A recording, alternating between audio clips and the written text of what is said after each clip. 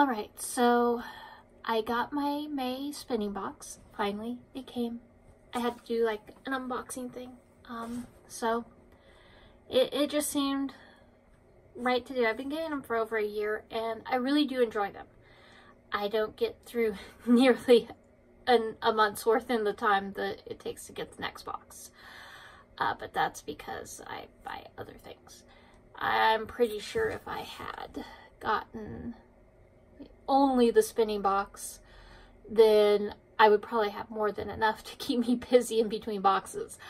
Um, but I don't. So, well, I do enjoy getting them and they are definitely the highlight of the day when I do. So, for May, the theme was farm life. Um, actually, that kind of sucks. Sorry. Um, so, let's see what we've got. Um, let's see. Of course, the thing that I love the most about the um, about the box is getting that breed study. That one sample of just the pure fiber from a single animal. Um, I haven't gotten through them because I've also been to, um, been distracted by Shave 'em to save them. But um, you know, it, it definitely ties in with my goal for like the year, cut myself, um, of just trying to explore like the rare breeds. Um, some of those have been in spinning box before. I think the rumor is there's actually one of those types in this box, uh, maybe. So that'll be fun. Uh, I think I might already have it though, but if I don't, then it's still gonna be an adventure. Okay, so what do we have here? Um, let's see. Turn that address away. Okay, so what we see here as we're opening this guy. Let's see.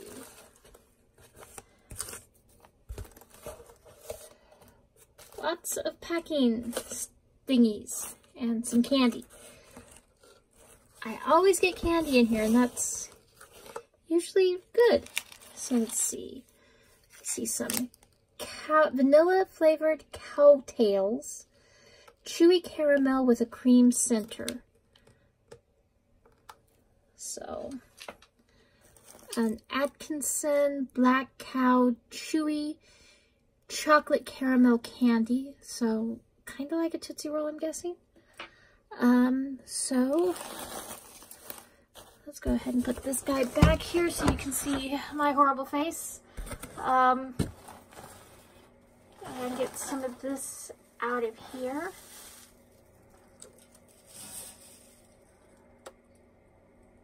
Okay. That can be useful, I'm sure.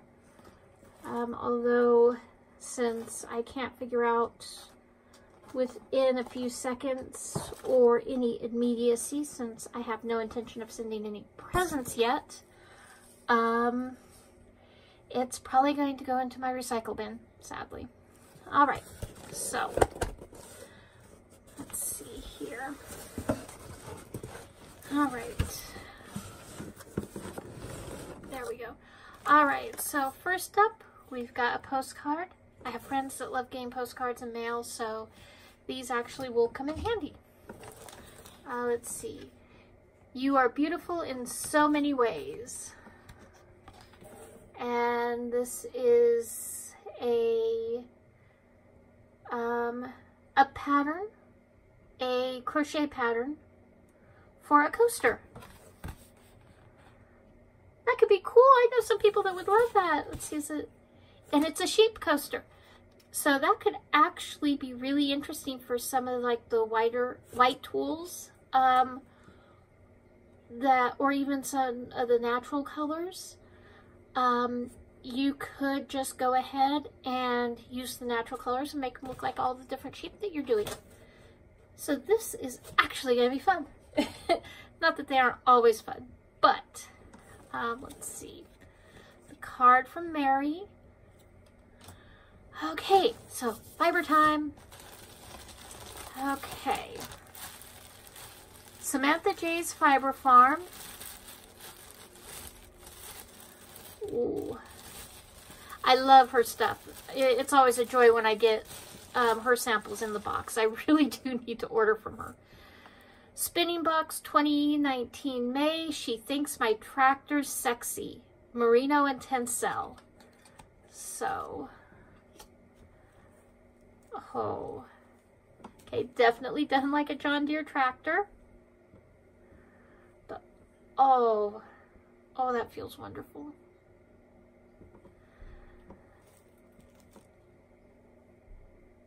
But yeah, that's probably about an ounce of fiber. Perfect sample size. Take me probably um, half an afternoon on my spinning wheel or forever on my spindles because I'm not slow on my spindles. I really need to get faster. But, oh, not sure. I'll have to see how I spin it. I'm probably going to spin it fine because it just feels like something that wants to be a cowl or a shawl. Uh, when I do when I do go through my boxes, I do try and think of how I'm going to spin it uh, and what potentially might be a project that I could use it for if I did it well enough. Um, so probably a cowl um, around my neck or a scarf. Um, and yeah, we'll see how that one goes eventually. Okay, next. Ooh. Picture of a sheep. Ranching Tradition Fiber. I also do wind up with a lot of random bags. Uh, let's see. So this is an ounce of BFL, Ooh, my favorite fiber, uh, just like practically everyone's, uh, at least for like that I call it kitchen sink fiber because everyone has one.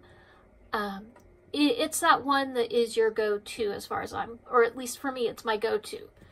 Um, I have been tempted by some other breed fleeces that I've been exposed to through Shave 'em to Save 'em. Um, but BFL is always going to be, jokingly enough, my BFF. Um, so color rye. Okay.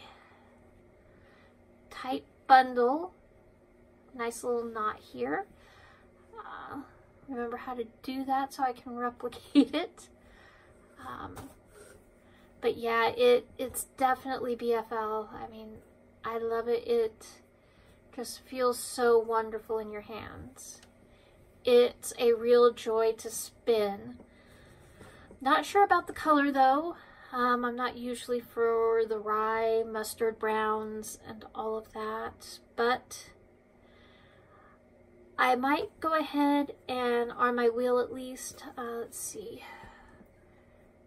Since I've started doing my breed studies, I've gotten more invested in like how something's done.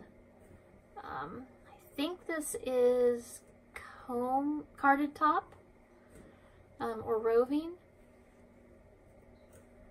Um,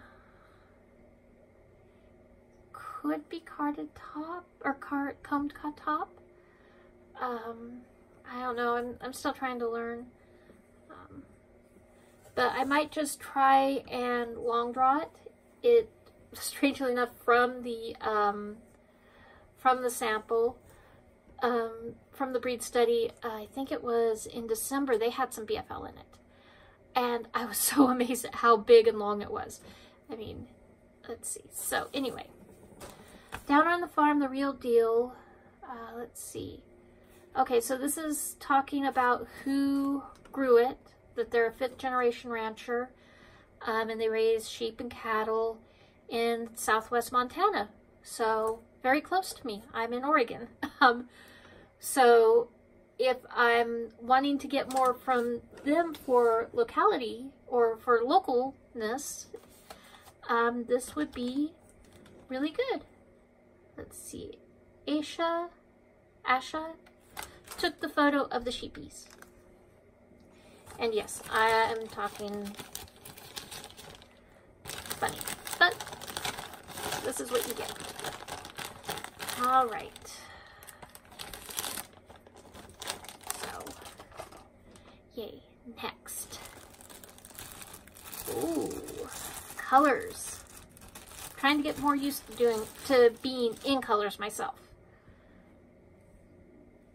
Let's see, what we got here? Grandpa's Helper, 100% BFL wool, born in a barn, fiber arts. Okay. So, given the colors, I could mix it with that rye from the la you know, from this last one and from Montana.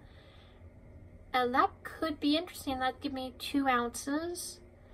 Um, maybe separate out the greens or the green parts of it and then just bulk out the brown and orange. Uh, yeah, that I could play with color with this because they're both BFLs. So like to like. And that could help. Um, I probably have some more BFL from other boxes, so I so I could definitely work with it um, independently. Um, more color. Ooh, and I even got tomato seeds. Heirloom tomato seeds, Lithuanian crested pink. If I were going to play with those, I'd have to get them in the ground now. Um, so anyway, this one is called, um, so this one is looking like it's got its theme from the tomatoes. Um, might have to wait on those tomatoes until next year. I think they'll keep. Oh, come on. I like having grosgrain. I like having ribbons. Come on.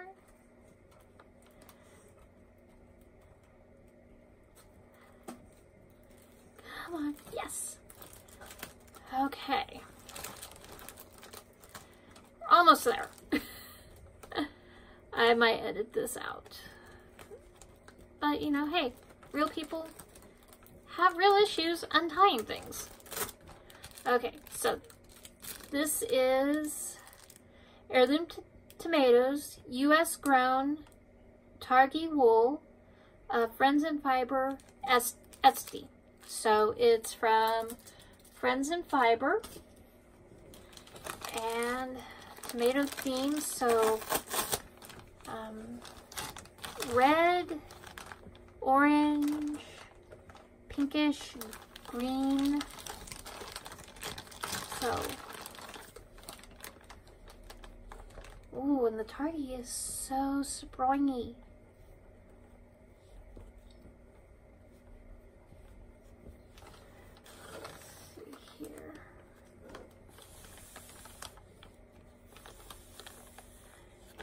I know some people for their unboxings, they just look and not touch. I can't do that. I really, really seriously can't. Um, but, oh, I like the feel of that. Don't know about the colors. I might try and fractal spin it. Um, maybe. Or I might just divvy it off so that I can keep, do for like, spin for long colors But yeah, if that's an ounce, that's going to be a lot. Okay, and if any of you fiber providers are watching me do this and think that I'm totally mishandling your wools, uh, I'm sorry. I...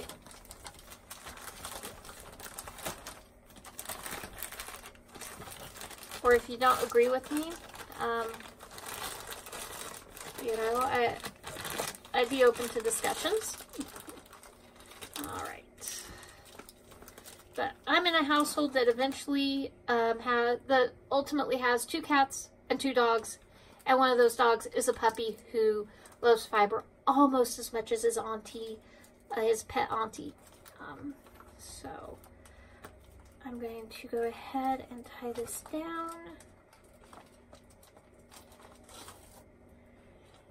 And let's see if we can manage to thread this guy through without too much grief and hardship and wailing and gnashing of teeth and lamentations of billions. Yay! Keep these guys together, although those seeds will probably go out to the garden. And then figure it out. I mean, today is actually here in Oregon.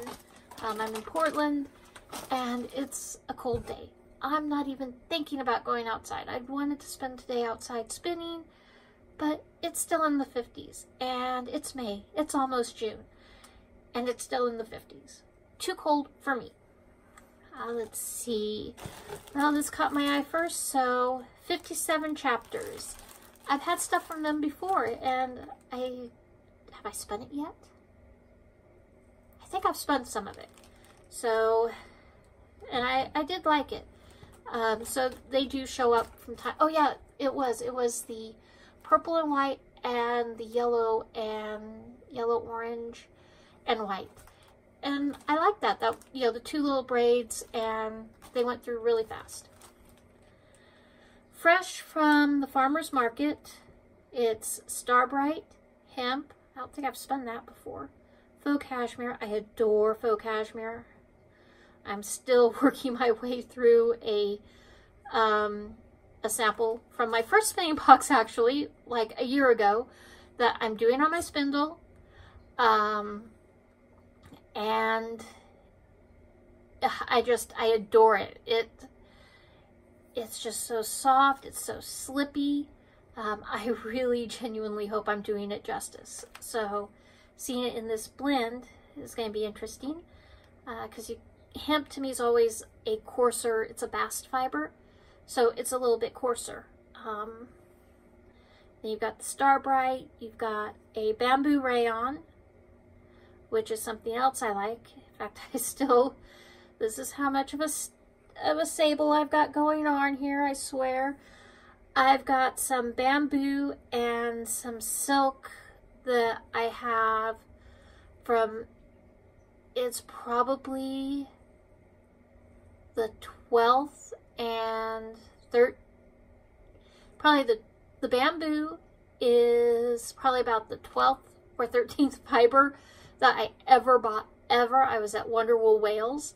Um, and so I bought some there. Uh, and that was like back in, I want to say 2011 or 2012 in the UK. And then I have some silk that I got from the spinning class I took with Amy Singer of Knitty.com where I learned to spin silk hankies and got this Schacht um, top high-low spindle. And uh, we got a sample of some uh, Sweet Georgia fiber and I'm digressing. But uh, anyway, so I haven't spun that yet. Uh, to me, it just seems like I'm not there yet but I'm spinning faux cashmere, so why am I delayed?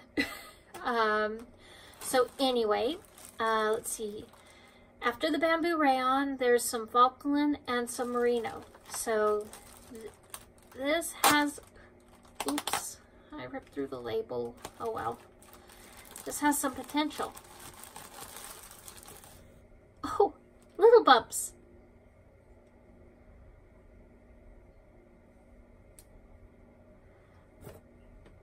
Let's see here. Where's the end? Well, already I'm kind of not wanting to disrupt the little bumps here because I can just poke my finger through and treat them like rolags. So little faux, faux eggs.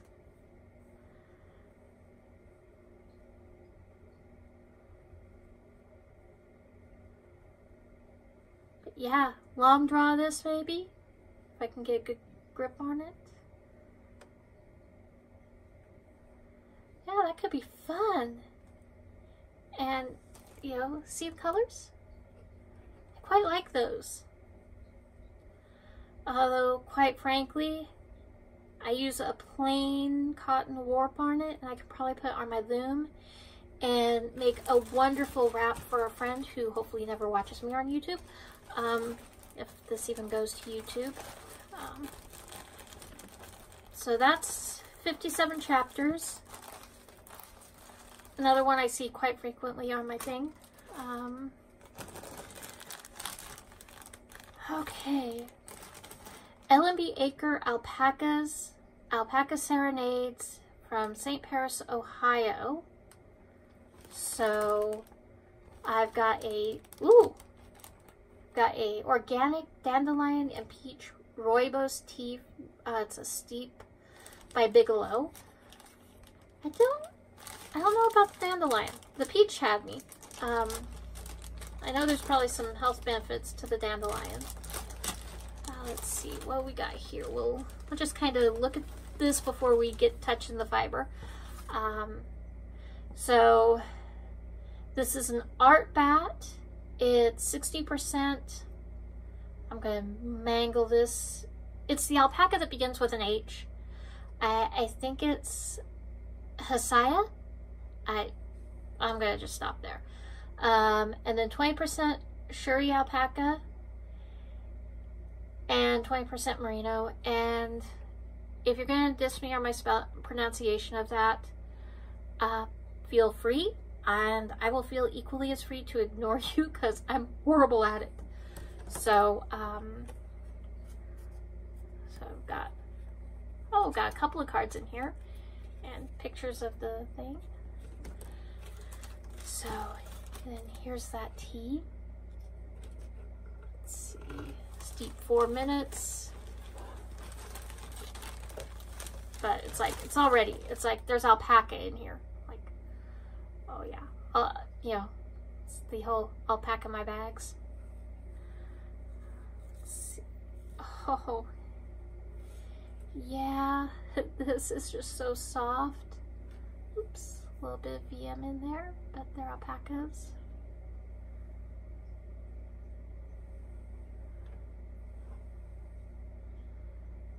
That's definitely one thing that I've learned with spinning from like fresh uh, raw fleeces.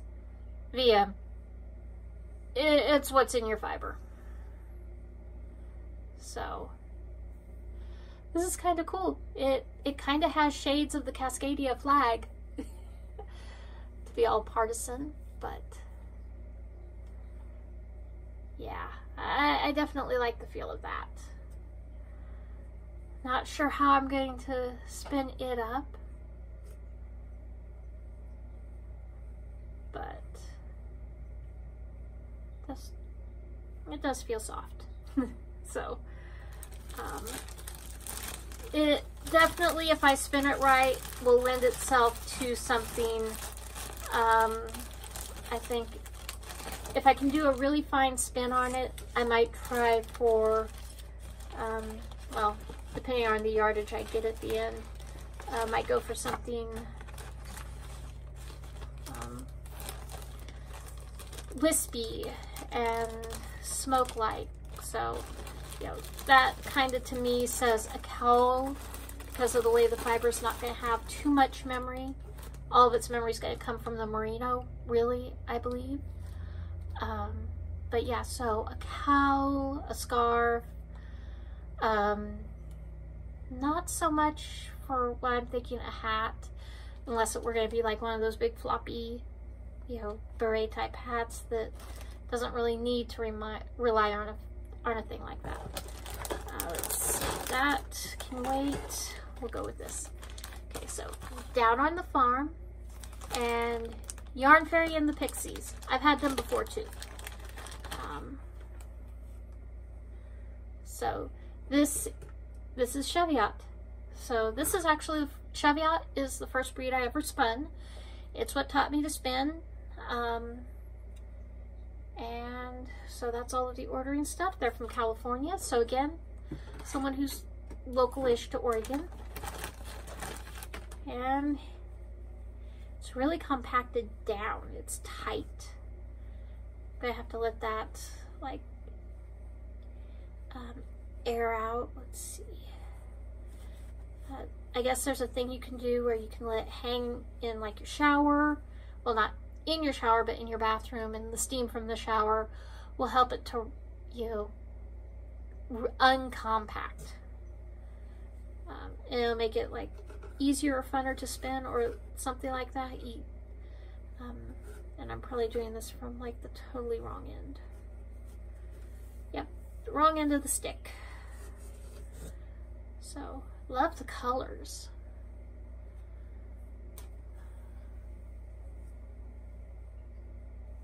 Probably, although they are really together and short. So, not sure. Although, because I have such fond memories of a Cheviot being my first fiber, I might also hold on to it as a, um, here kids, um, when I'm spinning, play with this. Although that seems like a waste, but we'll see. Um, uh, I just realized it's probably inspired by the rooster. Oh, where did I put that card? I, I desperately try and keep fiber and cards together. Um, I'm trying desperately also to get better about my documentation so I can remember that, oh, I like this. I need to order this from so-and-so. Um, okay, I've got two choices left. Do I go for the big sample from uh, Kamage uh, Fiber Arts? Um, or do I go with the breed fiber? And given what I can see of the label from the breed fiber, I'm going to go with the one that we get from from them every month. So, down on the farm, uh, definitely inspired by the rooster. Um, this is a 23 micron merino, so uh, we generally get merino um, from this larger sample, and I exclusively spin these on my wheel, which is why I don't have very much throughput on them um, for spinning. But yeah, I mean, it's silky soft. And it's just so many colors together. I I don't know how I'm going to spin this and not be muddy. Um, I mean, I'm sure there's a way. But I, A, do not have the patience to, um, to spin those down, but this is top because everything is all like even. You know, it looks like everything's the same length. It's just so smooth. So I always get confused. Top is worsted, I think. Because woolen has all of the air in it. I think, maybe. Possibly. Again, I don't know for sure. I'm still learning that part of it. But yeah, otherwise, this is going to be an absolute delight to spin.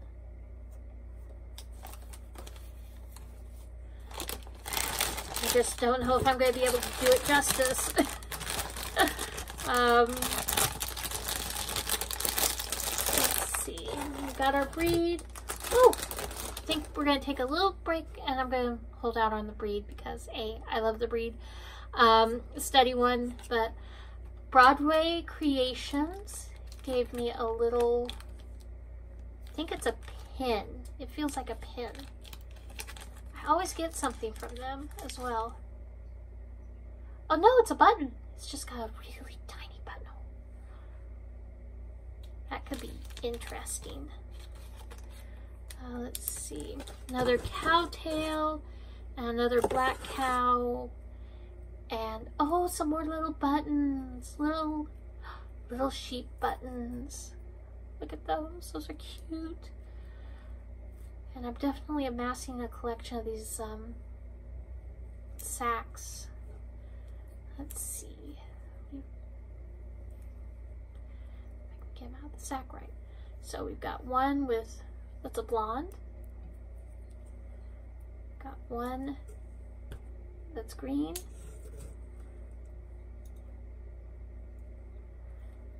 Another blonde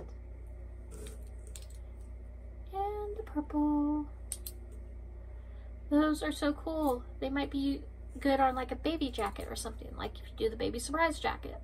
Um, all right, so last one, the breed study. So this month, it was the Karakul. This is actually one of the breeds that's on the Shave 'em to Save 'em. Uh, it is an endangered breed. Um, it's not critical uh, like some of some other breeds that I'm currently working my way through, uh, but it is endangered.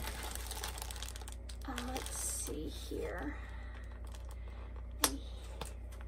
This is why I have my I own my own stapler too, so I can restaple this guy back on there. But uh, let's see. So the Karakul may be the oldest breed of domesticated sheep. Um, it felts easily. Um, wool combs are recommended for prep, and it can be spun bulky or thin. So this is actually going to be really good. I have not bought my Karakul, um, Karakul. Yeah, Karakul. Again, pronunciation. I hate it. Um, so this breed um, is on the list by the Livestock Conservatory. Conservatory, conservationists, whatever. The people that are doing shave them save them. Um, I haven't bought mine yet. So I get to play around with this and get a first opinion. And then I can decide, you know, I mean, I can, right now, I don't know if it's been washed or not. I can feel the lanolin. So, and this feels a little bit matted, so I'm kind of inclined to think not. Um, but, okay, these seem like they're guard hairs. Is this the dual coat? Uh, see, dual coated. I think. No, it's not dual coated.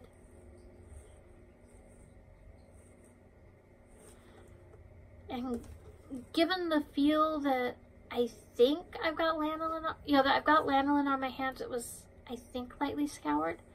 Got a little bit of color in here. Um, which makes me think that it is a dual coat breed. Where's that card? Although known as the first sheep, provided more than a beautifully patterned silky. They were. Yep, dual coated.